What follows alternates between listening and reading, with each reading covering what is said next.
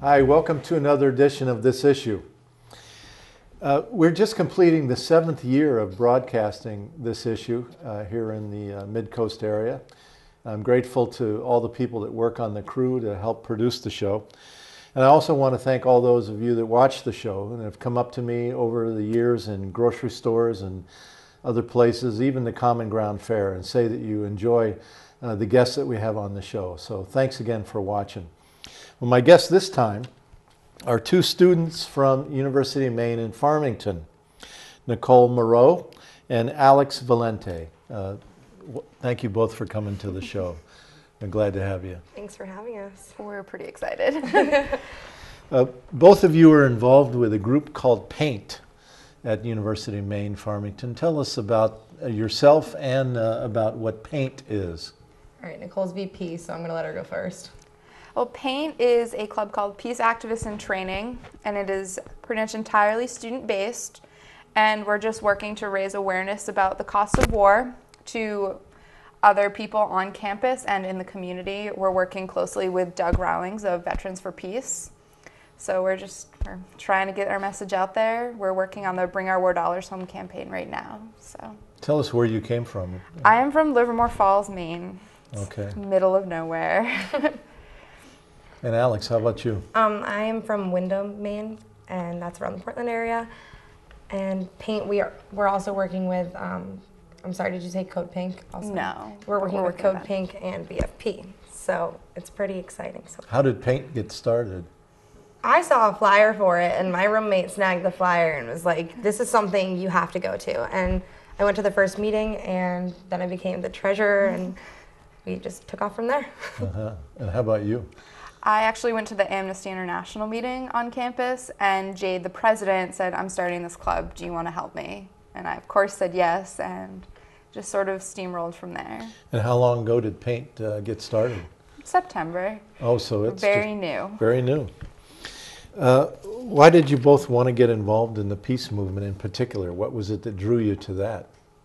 Um, the peace movement to me, it's just, I've always gone towards peace. You know, it's been like something that I've wanted to delegate, and having this whole movement start, I, I was unaware that there was even a movement going on. I mean, I had limited resources before I came to college, and then seeing the fact that I could not only join a club but be the treasurer and be extremely involved in it and coordinate with my I'm taking a first year seminar peace studies class and coordinated right with that so I was like this is this is what I'm here for definitely Tell me about the Peace Studies class that you take. It's incredible. It's taught by Doug Rawlings. He's a VFP member, and it's we we've been reading. It's kind of like a parallel history of what actually happened compared to what's being written and taught, and it's it's basically it's not changed my life, but confirmed a lot of thoughts that I had about the peace movement and about what has been going on and the actions that people are involved with. So it's really it's motivated me to just start acting instead of trying to fit some type of mold that we've created. I'm doing what feels right and it's what the people in this book did so i know that there's like credibility to it does any so. any one particular story or any one particular thing that you've learned in that class stand out in your mind um, i really liked helen prejean's story it was um, an excerpt from dead man walking which is um, it's about capital punishment and it's when she would she would um, she was the spiritual advisor for a lot of the people on death row. And just seeing that much compassion and there's a book called compassion by christina feldman we're also reading. So the way that story coordinated with that book it's just like a really deep understanding and i really really enjoyed it. Oh that's great. Uh, you were both heavily involved in the recent veterans for peace uh, peace walk that started in farmington on election night and then uh, went uh, more than 126 miles all the way to Portland. In fact, Alex, you were on the walk the entire way, and Nicole, you were frequently on the walk. Yeah. Uh, but in the beginning, the first night, uh, there was a potluck supper in Farmington at a church, and more than 100 people turned out to kind of send the walk off. And more than 50 of those people were students that I assume that you all really helped to organize to come that night. We were all very impressed by the great number of students that were there. What what was it that uh, attracted all those students to to coming uh, not only to the potluck, but then many of them came and walked that first day, about 14 miles. In fact, a lot of people walked that first day. Nicole, what do you? Uh, As much as I would like to say that it's because they're interested in the peace movement, I feel like a lot of it honestly was due to the fact that there was free food there. And then once they got there and saw what we were doing and how passionate everyone that was going on the walk was, they felt more empowered to join us on the walk and to become more active in campus. I know that while I've been tabling for paint, people that I saw at the potluck dinner have come up and signed our postcard or taken some of our literature that we have and just have I feel like more people have gotten active on campus due to the potluck, which is awesome. And if we can start that with food, that's a great way to start it. it's a social uh, Yeah. uh, thing. What about? Uh, what have you heard from people that walked that that, that first day? The, the students. What kind of things did they say about that experience? Well, I know there's a girl in my art class who um, who talked who walked the first day and she talked with me after it and she was like, "Wow, I wish I could have done the whole thing. Like I didn't know it would be that like empowering." And I I was just like, "Yeah, I know. Isn't it incredible?" Like and it was just awesome to have that type of connection and I actually saw her at the library a few days ago and we were able to discuss like just like have a conversation. So I think it opened up a lot of doorways for anyone who was on the walk. I know that everyone on the walk, I I personally respect every single person that was there and it's I learned a lot from them and just that community feel it's it's nice to know that it's affecting other people too so Let's talk more about your experience on the walk.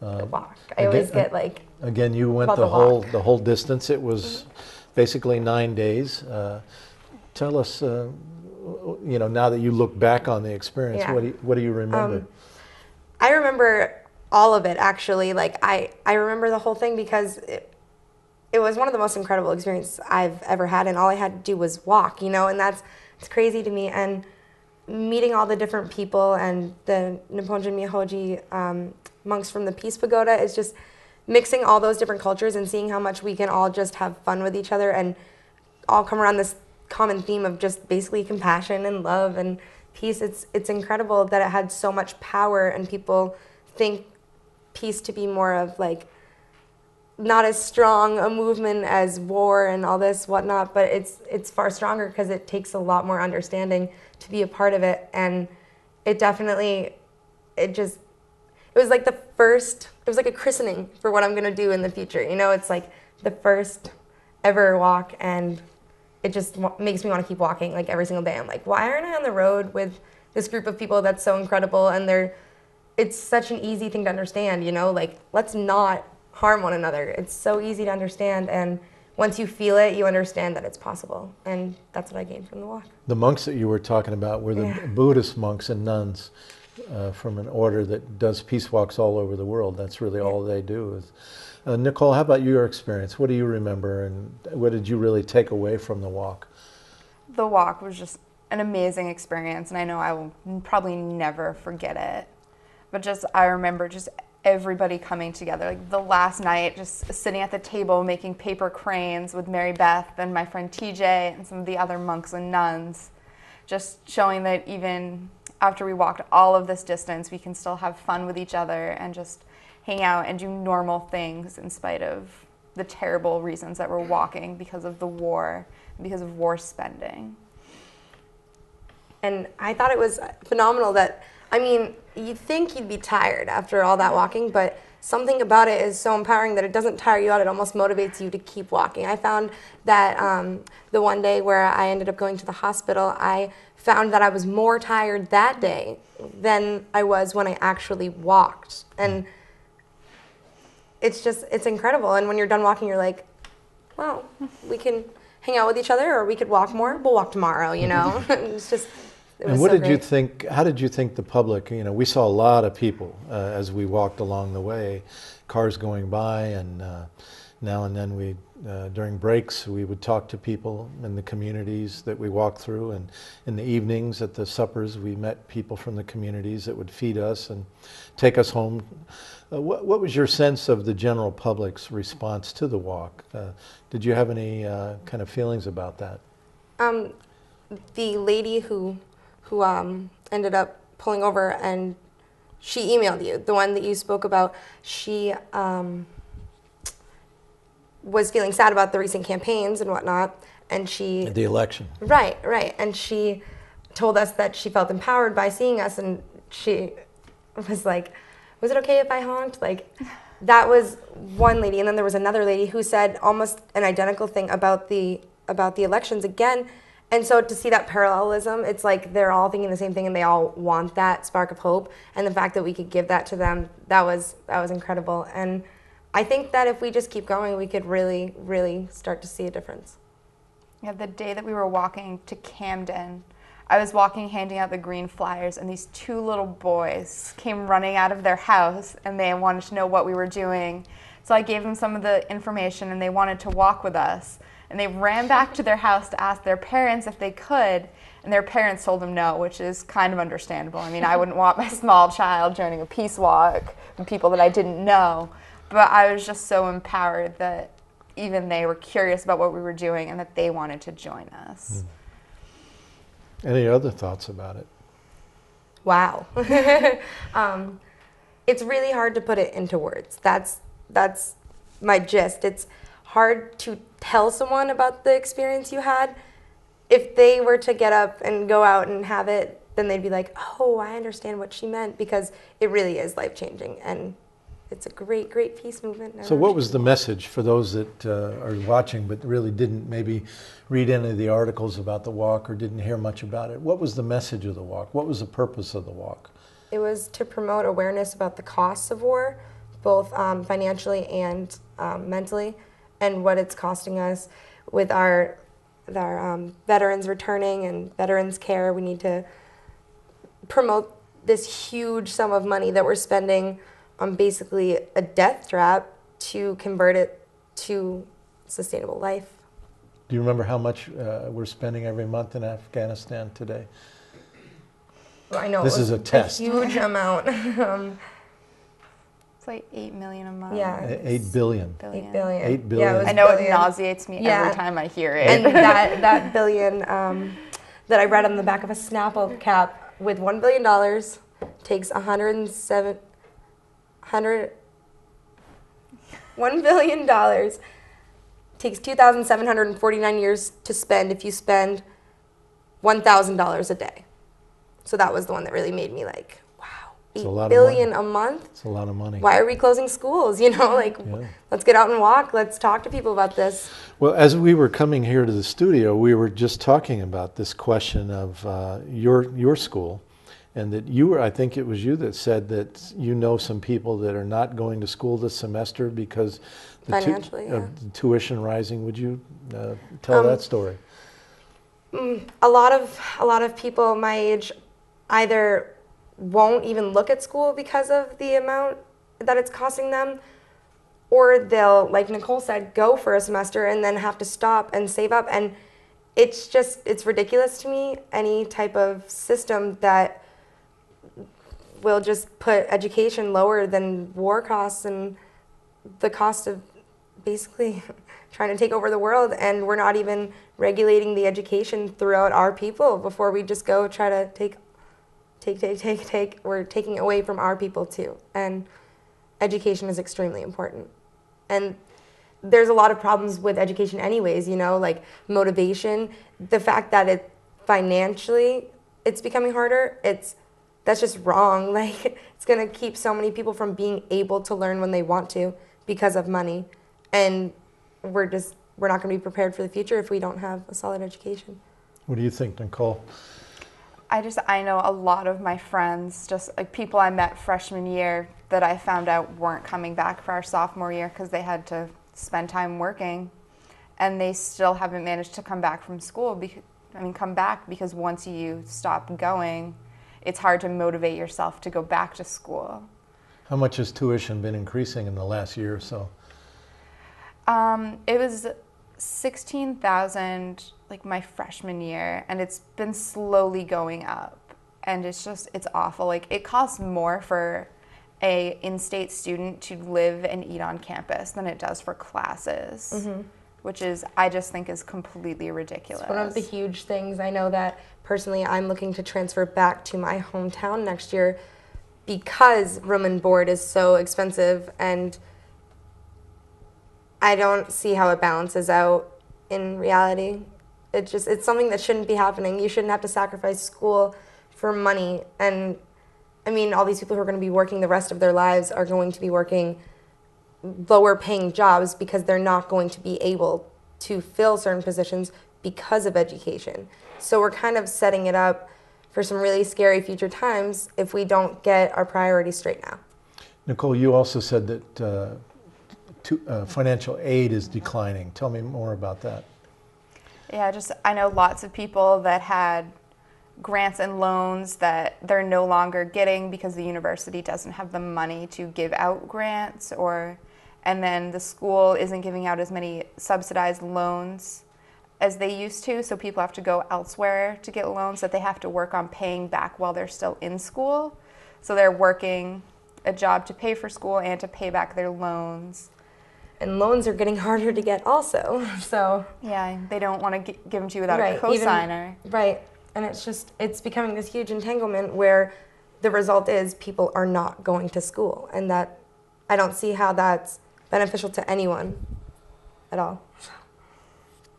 And so increasingly your group, Paint, a peace activist in training at the U- UMaine Farmington, uh, your group is trying to merge these issues, correct? You're trying to talk to the community and to other students about the link between endless war and the cutbacks in education and other things as well, correct? Uh, what kind of response are you getting from students uh, as you begin to make these connections? A lot of people are really surprised and a lot of people don't believe me Yep. when I tell them this. And then What like do you mean when you tell them what? I'm like 54% of our spending goes to the war, like according to this handout that we have, like the pie chart that Lisa gave us.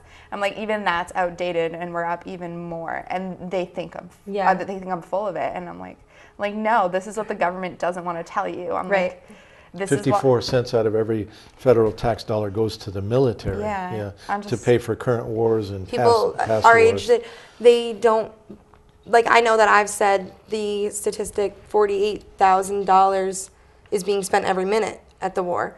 And they're like that there's no way that's happening. And i'm like look into it. Look it up. And i know with this huge wikileaks release i've been reading nonstop. And people are they're intrigued by that and then not only that but since i got back from the walk i know i've been about about the walk and about everything i've learned and they're just like wow no, that can't be true. And I'm like, no, it really is though. Like, this is what's happening. What what are you gonna do? Like, Why is it that so many people your age don't know these things?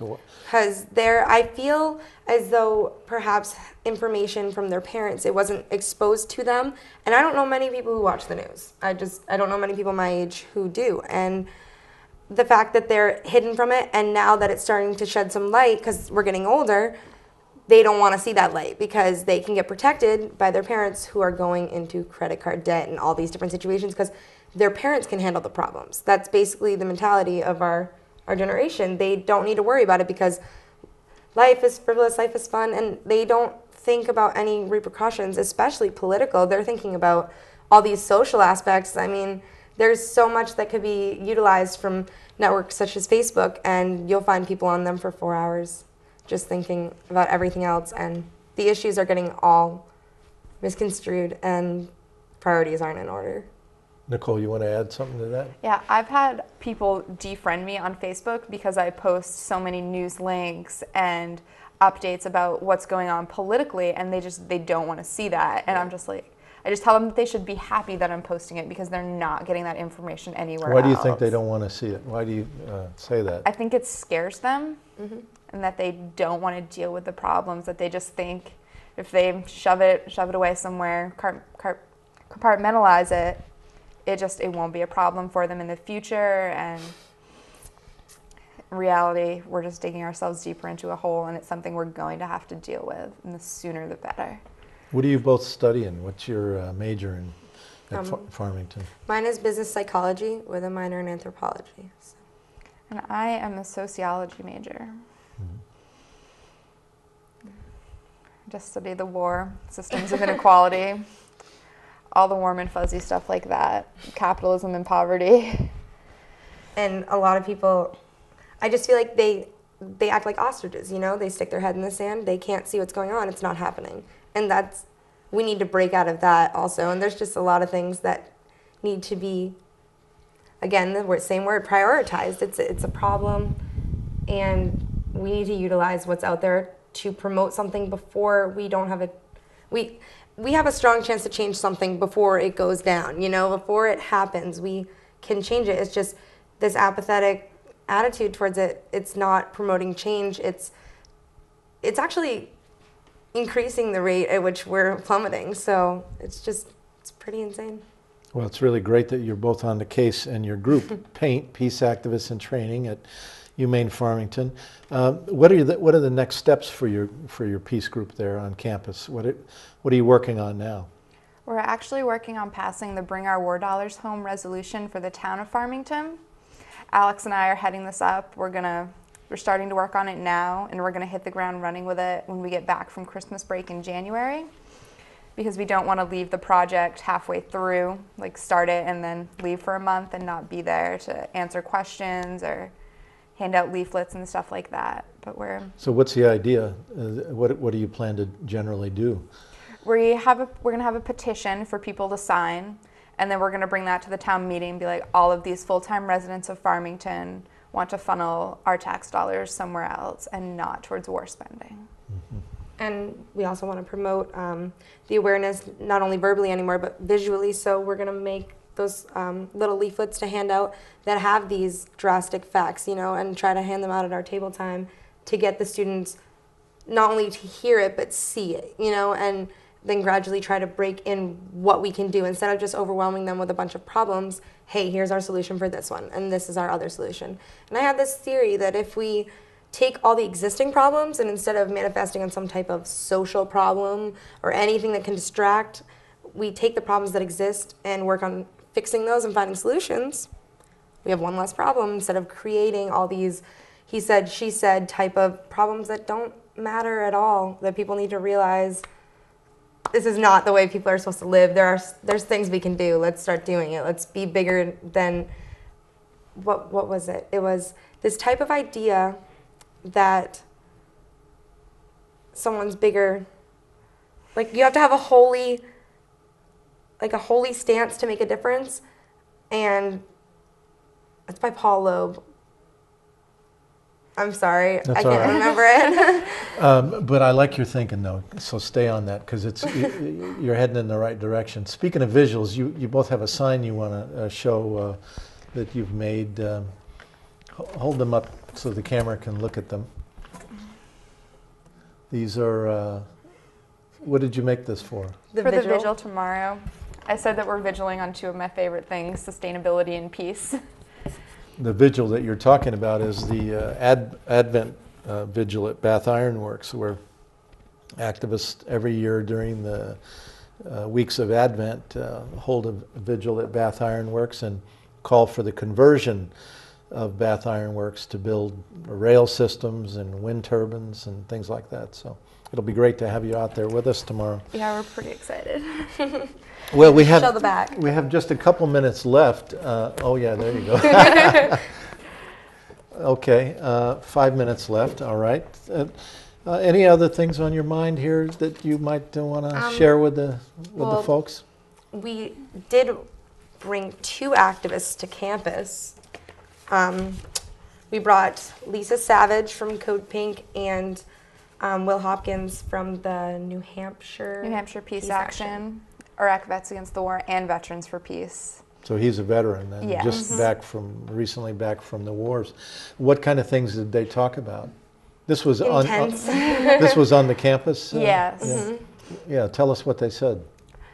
Lisa just talked about the Bring Our War Dollars Home campaign, and she gave us some great ideas for how to get our resolutions started.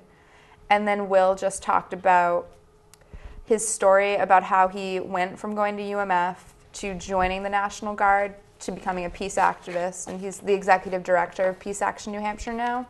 So he gets paid to be an activist, which is awesome, I think. Where was he stationed in Iraq or Afghanistan? He was in Afghanistan. Afghanistan. What did, what did he say about the war?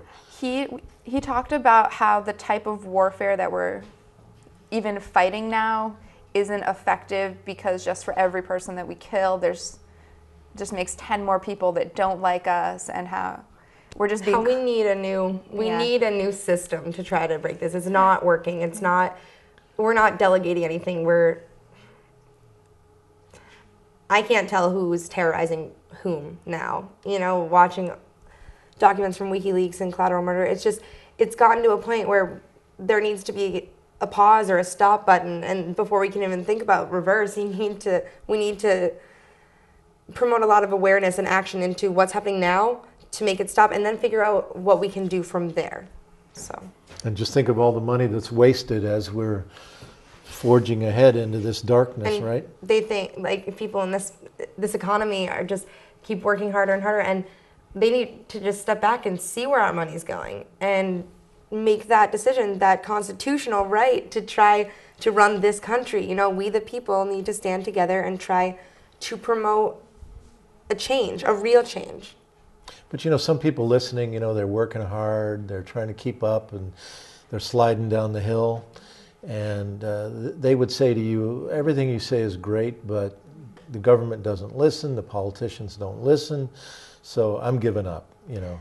Uh, what, Well, would, Henry what would you David say Thoreau and I would put up a huge argument, and it's it's our civil disobedience. If if anyone reads Henry David Thoreau's essay of civil disobedience, it's if we don't like our government that we're empowering and we're paying, it's our uh, it's our chance to just Responsibility? yeah, definitely. Thank you. Our responsibility to change that and to step up and to be the voice.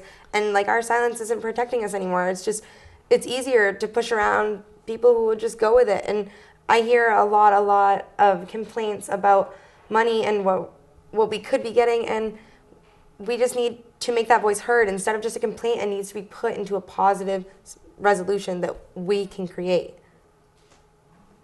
How And if you give up, you're How just about you. Nicole? What would you say to that same question?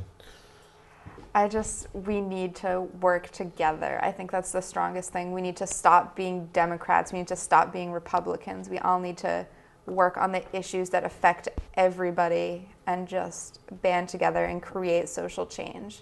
It's social change starts small and it snowballs and it gets bigger and bigger and bigger. And then eventually good stuff happens. Yeah, like the abominable snowman, right? Well, you guys are really something. You're really wonderful. We have one minute left. Any last final quick thoughts? Thank you very much for having us. Oh, well, It's thank you. been great. Thank you so much. Thank Thank you you. both. And please keep up your work and call on us all anytime that we can help. Because as you say, we're all in this together. We have to work together, right? And so, you know, oftentimes in our culture, younger people are separated from older people. And it, it works very well for the power structure to keep us separated from each other, black from white, you know, and on down the line. And we have to break those barriers down and find ways to, to be together and work together more, more and more all the time. Well, and thank you for watching another edition of this issue. Until next time, good luck to you all, and please get organized.